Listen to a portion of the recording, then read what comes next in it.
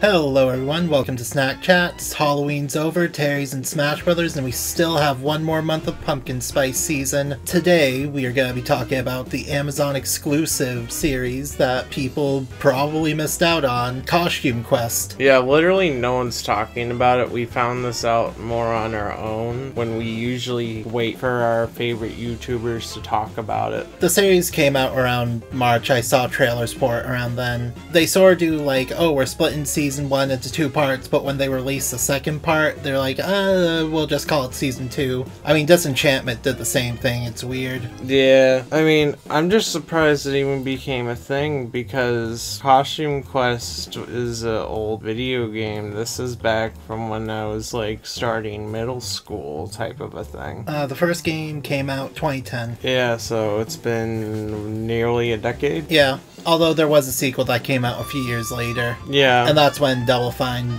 bought the series. But still, this is its first time actually getting a TV show to go with the game. Yeah, this is a video game TV show. Yeah, and like. And we all know how those end up. Insert clip of Super Mario Bros. Super Show. Like our motto says, the customer is always wet.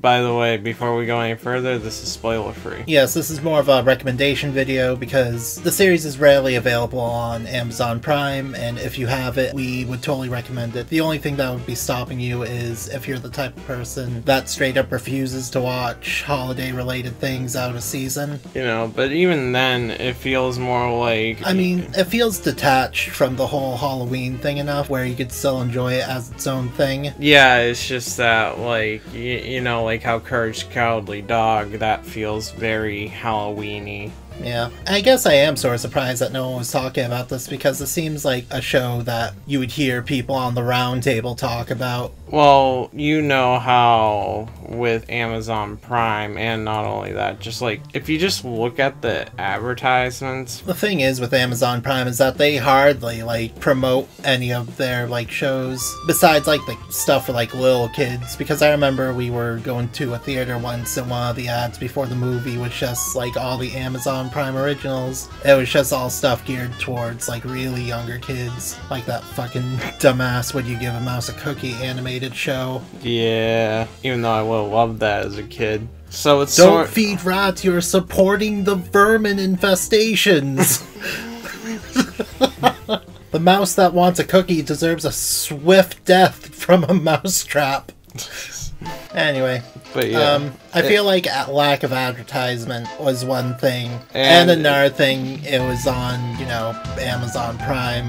No one really talks about the original stuff on there. Yeah, because like Amazon Prime, like it doesn't really have anything good or noteworthy. It's really more feeling for like maybe like PBS type of stuff I don't know. I feel like if the show was on actual TV, or even Netflix. it would have probably got more notoriety because like if this was a week by week thing or like one episode every several months like any other modern cartoon people would be more interested in it. Either way, let's segue into like why it's actually good.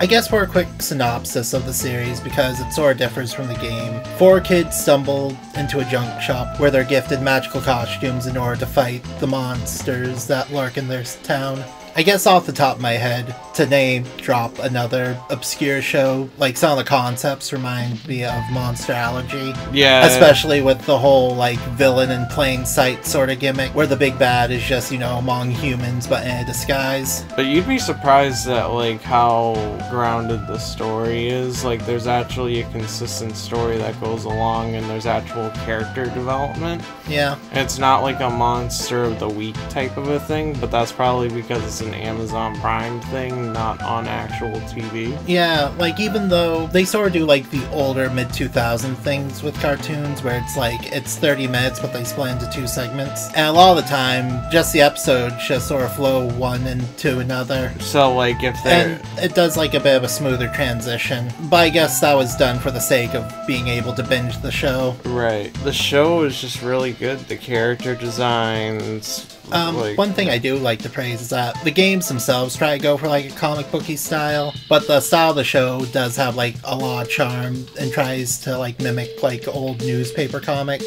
Yeah. And like one thing you'll notice is that if something's like colored black, they'll usually have like a scribble instead of just a solid color. Right. Because that would be something that like an older comic does. I like when stuff like that just goes for actual different styles. While like we also have Hilda on Netflix, it's sort of like the equivalent of that. We're going for a different animation type of a style. Yeah. And I showed Joey what the game looked like afterwards. He was like, oh, that's what they look like in the game. I did not remember their eyes looking that freaky. It's like somebody figuring out how to do 3D with the eyes, but they sort of felt like, yeah, this looks good. Yeah, Joey did not like the character models in the original game. I'm just like that they did it so like I can't believe I'm saying this, but they did so much better in the cartoon for the main characters. They're just so generic looking. But when they actually have the costumes on and you get the external characters, especially the big bad, you know that that's where the show really shows the character design. Yeah. And just the story, like I said before, it's the whole the bad guys in plain sight. So it gets kind of nerve-wracking even though the show goes for like a lot a lot more of a light-hearted tone. And will hit you on a more deeper emotional level to a certain degree. Yeah, the characters times. do go through like various arcs, Yeah. especially like the kids and like some of the adult characters that they meet along the way. Hun, you said that the game had like some wizard or something Well, given I the costumes, right? I don't 100% remember, but I do think that in the game itself, they were gifted the costumes by an enchantress, while in this game, I was about to say this game, while in the show itself, they're given costumes by a figure that owns a junk shop named Norm.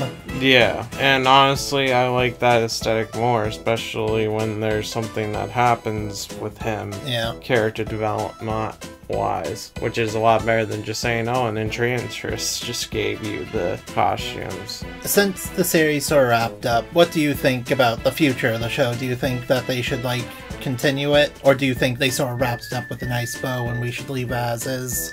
Well, the thing is, is that this is one of those series that you're not really on the edge of your seat. It's more something that, like, oh, it's the Halloween special for this year.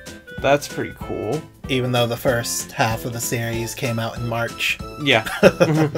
It's like, um, what's that, um, Halloween special that aired, like, every year on Cartoon Network that had the werewolf, the Um, Scary Godmother. Yeah, Scary Godmother. It's like, oh, that that's cool. Like the first time you watch it, and then like next year it's on. It's just like, eh, I got nothing else to do. I'll watch it. I do know that the games had both a like big story DLC and a sequel. I do hope that they use inspiration from either of those to like do another season or two because I do think the show is really great as is, and I would like to see it progress into something even greater if they can. Yeah, if they can. I mean, they already went off of the groundwork, so I'm not sure how they would be able to handle a second season. Well, a second story arc that isn't pre-planned. So You never know what they can do. yeah, exactly. What are your final thoughts? I guess final thoughts for the series as a whole is that you'll have a good time with it. I think it's detached enough from the whole Halloween aesthetic that you can watch it any time of year if you want to. And I feel like if you're a fan of like how shows are today, like Star Versus or Steven Universe, where it has a story-driven comedy show, As for me, I just say that you'll be very surprised what you're getting yourself into, especially since the internet slash social media isn't really blasting this everywhere.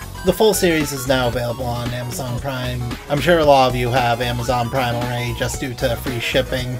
I mean, the way we really heard about it was more just that our Amazon TV had it as an advertisement. We were just like, let's check it out. I mean, I kind of forgot about the series after we watched the first half until like a few days before Halloween. I was like, oh yeah, the, the second part of season one or season two or whatever they want to call it came out. Woo!